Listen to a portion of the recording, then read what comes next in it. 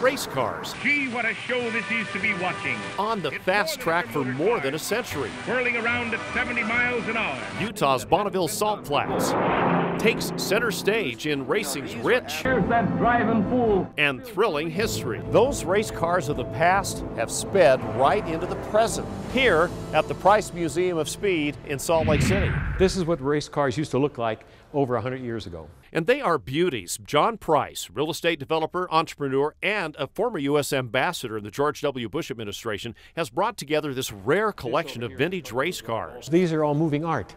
They're, I, I call, each car has a metallic soul of its own. I look at each one as, as a piece of art that's got four wheels under it. Their stories remarkable. They either won or placed in prestigious races such as the Grand Prix, Indy, and Daytona Beach. You can almost feel the flames and the heat coming out. This 1904 all original chain driven Pope Toledo ran on the sand at Daytona Beach. Wooden spokes on here, nothing fancy, you know. You just hope it held together. Back then, it was wild, crazy, and deadly in a timeless sport where it's all about beating the clock. This is all original. This famous Bugatti won the 1929 Spanish Grand Prix. This one here is the winner of 1931 Indianapolis, right here. It's rare to come across these cars, but you're not going to find them anymore. In the midst of all these gems, John's pride and joy is the world famous Mormon Meteor 3. Came out in 1938, and there it is. I mean, it's got an airplane engine in it.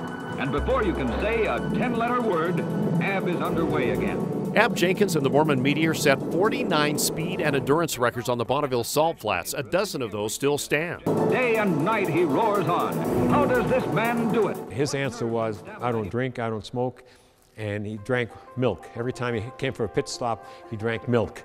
And thanks to John Price, the drivers and their cars of long ago keep racing way beyond their time. So I want the children and future generations to remember all these cars and how they were made.